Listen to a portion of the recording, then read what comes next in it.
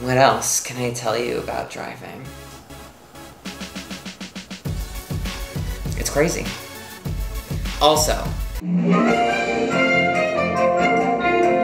look at that. I made it back for another video. I'm proud of myself, I'm proud of us. This is amazing. Work, I'm vibing, it's your domain. It's all really good things from here on out, you know? I'm happy, I'm proud, I'm ready. Today is a video that's gonna help a lot of people. And that makes me feel really good on the inside, you know? I love to help people. Today's video is about driving. It can be scary to learn how to drive. It can be scary knowing how to drive and trying to drive now. But I'm here to let you know what I didn't know when I started driving. The one thing that nobody ever told me was that when you step on the gas, you're really gonna go.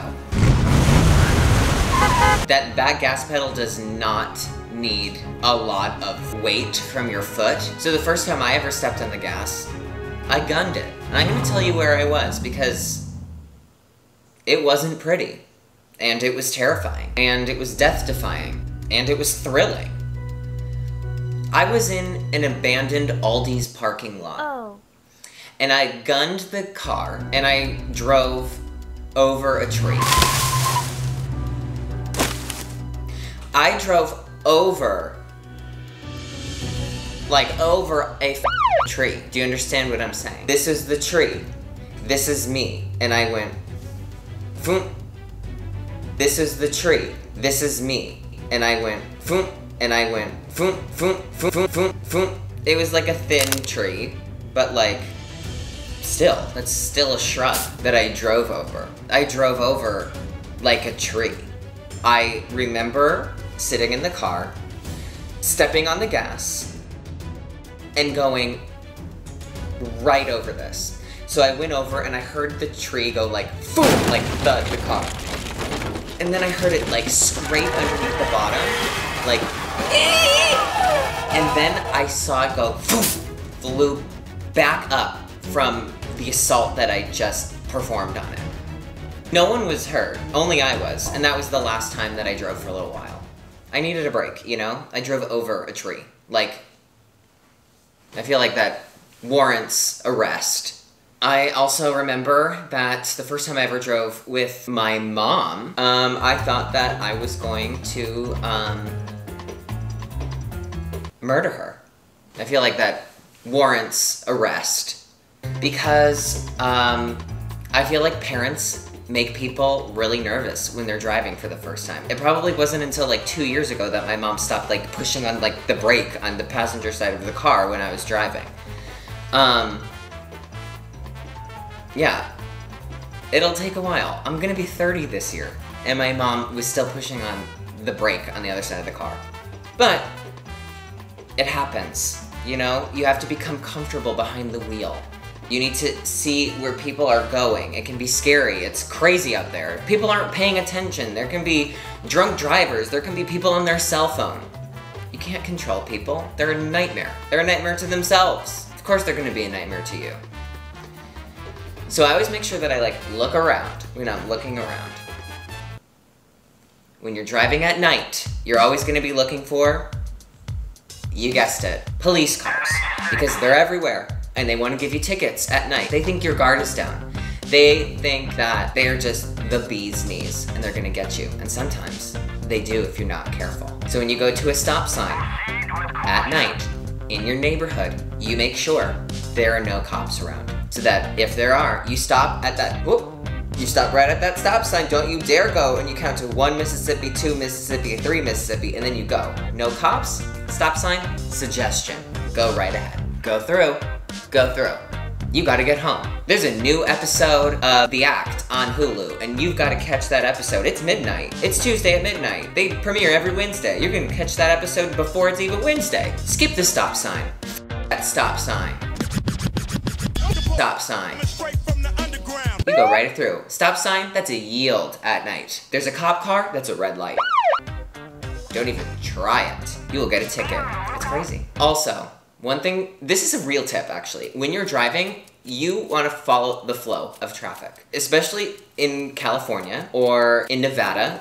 You want to really follow like the flow of traffic. That might be a little bit faster than the speed limit, it might be a little bit slower, but you want to be right in there because it's going to be easier for you to like maneuver in and out of lanes, turn left, turn right. You can do it all if you're following the flow of traffic. If you're trying to be a good Samaritan and just do all the good things, you're gonna get eaten alive. Speed limit is 60 and you're going 60. There's eight bitches out there going 85 and you're about to die. Think about that for a second. I mean it. Really soak that in. I'm back and um, damp. Really soak that in. Like I'm pretty wet now. You're about to die. You better speed up, Molly Sue, because you're gonna get eaten alive by these sharks on the road. Don't say I didn't warn you. One thing that I didn't know, but now I know, is that like when you're turning lanes, another thing you want to be vigilant of is you want to see where the other cars are. Obviously, right? It's a no-brainer. But I remember when I first started driving, I thought that like if I started to pass the car a little bit, I could start turning over what I forgot was that there's like a whole ass end to the car that if you start turning over, you'll hit the person. So you wanna make sure that you've really like gone out in front, that there's tons of space, and then you can go. I never got in an accident, but I did get a few middle fingers and long honks on the horn. This leads me to my next point, honking the horn. The horn is your instrument. I'm using my instrument right now, my voice. My voice is the human horn. Use it. If you are at a red light and there's some busy, Betty behind you, the light is red for half of a millisecond she's honking the horn like you're not paying attention, you better honk that thing right back at her. Uh, all the way through. All the way through to the next light. Show her what's up. Don't honk the horn at me, miss thing. Don't even think about it. I was at a red light for half a second and you need to go where? We're all going to the same light. I see you trying to turn your light on to go to McDonald's. You don't need a McFlurry that badly.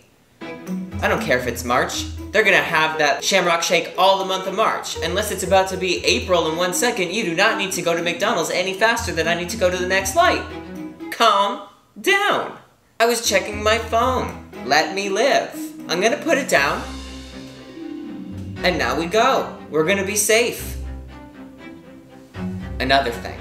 When you're parking, my hat goes off to anybody who can park into a spot in reverse. Because there's nothing I love more than when I'm driving and I get back into my car after parking it and it's been sitting in the parking lot, then turning it on and just going. I do not like backing up. Shady things happen when you back up in a parking lot. People are walking, kids are running, dogs are barking, cars are moving. If you can just make a clean getaway, it's the best. Do I think people who always back into spots are clinically unwell, unstable? I do. Because you're a monster if you do that. Hat off, still a monster. And you know what? I Always wear a mother seatbelt. Just wear it. I'm trying to think anything else that might be helpful to you. I have so much to give that it's hard. Sometimes just cause like stuck in here then I just need to get it out. I feel like that's it. I feel like now you're ready to drive. Now you're ready to take on any highway. The road is your oyster. Ride it. Drive it. Do it. Go fast, go slow. You choose. But if you're gonna go slow, go all the way to the right lane. Do not think that you're gonna go on the joyride of your life, going 45 miles An hour. when everyone else is going 200 miles An hour. around you on the Autobahn. Don't do it. Go, go over. Drive in the gutter. Don't get in my way. I do have like only two driving styles. I drive like a vision impaired grandmother or I drive like the bad cousin of Mario Andretti. So I get it. I get it if you fall right in the middle. Nobody's perfect. Forgive other people when they make mistakes. Just be safe. Look around. Enjoy. Driving is a fun experience, and I hope that these tips make your experience even better now that you have the knowledge. If you guys found this video helpful, make sure that you like and subscribe, hit the bell for notifications, and please let me know your best driving tip. Because from the sound of this video, I don't sound amazing, so maybe I can use a little pick-me-up with my skill. Yeah, that's it. Mm-hmm. Uh-uh. I'm in me mom's car. Get out me car. Broom, broom. You ready. Bye.